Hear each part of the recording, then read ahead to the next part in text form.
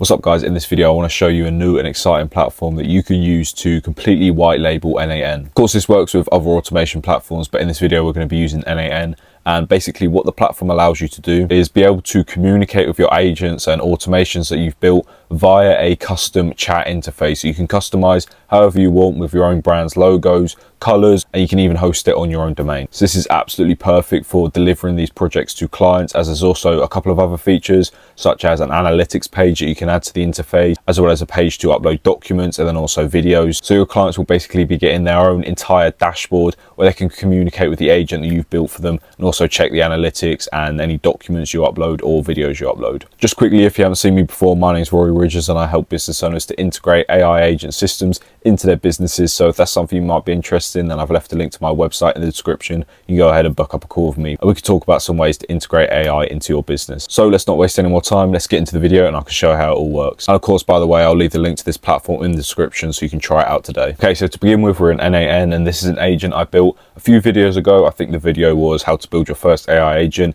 You can see it's quite simple. We're just going to be using it as a demo. And basically all this agent is, is an email agent. So it can retrieve emails from your inbox and it can also send emails for you. And then we also have a Google Sheets hooked up to it with just a long list of names and email addresses added to it. So this is if you wanted to say to it something like send an email to Dave saying what's up, it can just go through that Google Sheet, find Dave's name, and then find his email address, and then use that email address in the send email tool. So it's really, really simple. If you've used n8n before, you'll kind of know exactly what you're looking at here. We also obviously have our OpenAI chat model hooked up and we're using GPT-4o mini in this case. And then usually how you would have it is you would have a chat trigger at the beginning of this. So you'd be able to click the button down here and talk to the agent via a chat interface inside of n8n. And obviously this isn't really ideal because if you're delivering this to clients or if you're just using it for yourself, you don't want to be using it through n8n, of course. So there are things you can do like connect it to, I know, Telegram, WhatsApp, wherever it might be, but that might still not be ideal for some of your clients. So I want to show you this new platform I developed myself to help you out with this. So this here is the platform that I make. It's called Commonous Agents. And as an AI agency owner, I always kind of face the issue of delivering some of these agents to clients because I found that there's just no real sort of nice intuitive way to do it like i said you'll have to connect it up to their existing social channels or their email and for some people that isn't really ideal and also there's none of your branding on it none of your colors there's nothing to do with you on it and I wanted to kind of fix that. So what I did was I built this platform from scratch myself so that you guys can deliver these agents to your clients for a nice branded interface with your logo in the corner and your custom brand colors hosted on your own domain. So anyway, let me show you around the platform. To begin with, you just have a dashboard page here that shows you sort of some of the analytics and what's going on with your account. And then next up, we have a analytics page where you can see the metrics of all your interfaces and clients because you can also manage your clients through this platform, which is great. So analytics, we have like the total messages for your interfaces, your active clients, average session duration, and we just get little graphs with the messages over time, the peak usage time, clients over time, everything like that. And then interfaces, view the analytics for each individual interface, and then exact same thing with clients. So next we have the interfaces, and this is where you're actually going to make these interfaces or dashboards and hook them up to your agents and deliver them to your clients. So we'll come back to that in a second. Next we have clients. This is where you can add and manage all of your different clients and assign them to interfaces so that the interface can only be accessible via the password that they've made. So it just makes it a little bit more secure. And then we have a domains tab where you can add your own custom domain and then host this platform on your domain and publish these interfaces on that domain. So right now I just have a really, really simple domain. It was just the first domain that I saw, bought it to test this out. You can see right now this is verified, which means it's all good to go. But if you're going to add your own domain, all you do is hit add domain, type in the domain, you obviously have to own this domain. So you type in the name of that domain and then it'll give you a A record and TXT record. Just go over to your DNS settings on wherever you bought this domain from, add those records in, and then you should see it go from unverified to verified. So really, really simple. Then we're going to move over to the clients. You can see I already have some clients in here. These are just demo ones at the moment, but I'm going to add a new one with you so you can sort of see the entire process of this. So for the name, let's just say Sarah, and then her email is, let's say, sarah at gmail.com. And if we hit create client, we'll get this pop up. What we're going to do is we're going to hit skip for now. And right now you can see this one's unverified, but all of these are verified. So what we need to do to verify this client is if we click on it, we can get that verification link that just popped up. What we do, copy that, send this over to your client. And then all they have to do here is just set up a password. And this is going to be the password that they can use to access the interface that you make for them. So we're just going to say something like, okay, so I've added a password, confirm the password. If they hit complete verification, then it'll just say you're all set and they can close that window down. Absolutely perfect. And you should see Sarah now is now verified, which is absolutely perfect. And by the way, if you go into these clients, you can see some of the analytics. So obviously their account status, total messages, member since, their message activity, and then all their assigned interfaces. So now we're going to move on to the actual main event here. We're going to move on to the interfaces that we can make and customize for our clients. So if we go to, obviously I've already got one in here, but if we go to add new, we can um, set one up here. So let's just call it n8n demo description. This agent can send and get emails. Okay, so this agent can send and get emails, and then we just have to add a webhook URL. And you can see if we click need help, we've got some common issues here in case it doesn't go quite right, but we get a little image just to say that we have to have a webhook at the start and then a webhook response at the end. If we come over to n8n, you can see I've already got this set up, so I've just got webhook and then webhook response at the end. And if we go into this, there are a few settings that you need to make sure that you have turned on. So the first one is going to be HTTP method. Then the main thing is this respond here. And by default, it's going to be set to immediately. And you just want to set it to using respond to webhook node, which just basically means when it gets to the end here and it gets to this respond to webhook node, this webhook is just going to send the data back that it gets from the agent back to the place that we initially triggered the webhook from, which is going to be our interface on Common Agents.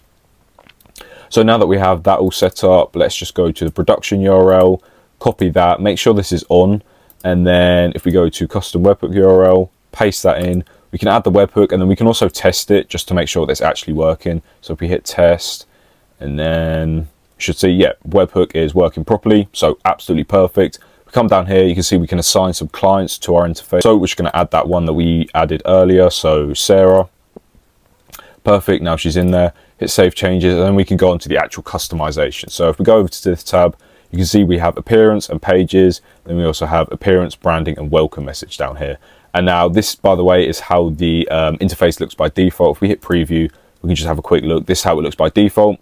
And what we want to do is we want to customize this with all our own colors and branding. So you can see here, we have all these different color options that we can um, add to this interface. And one of the cool things you can do is if you change the colors, you can see up here, it will update in real time and show you exactly how this thing's going to look. So there's so many different color options you can change here. So let's just say we want to change this to red.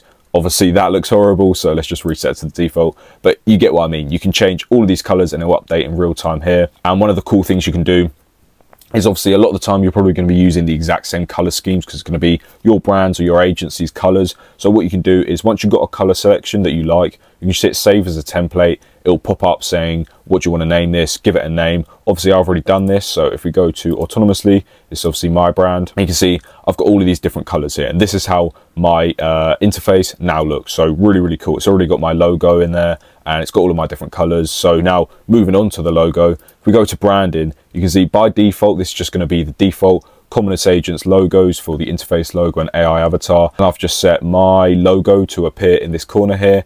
And then AI avatar, this basically just means when we talk to the agent, when we get a response from it, there's going to be a little sort of uh, icon, like a profile icon that the message is being sent from. And that is all the AI avatar images. So I've just put a variation of my logo. So then we have welcome message, and I'm probably not going to touch this, but this is just going to change this text here so you can see, again, updates in real time so you can see exactly how it's going to look. So we've got a title, a description, and then also these suggested inputs down here. So really, really cool. Let's hit save changes on what we've done so far. And then one of the things we can do actually is if we preview this, we can try and talk to the agent through this and just sort of see how it will look for our clients.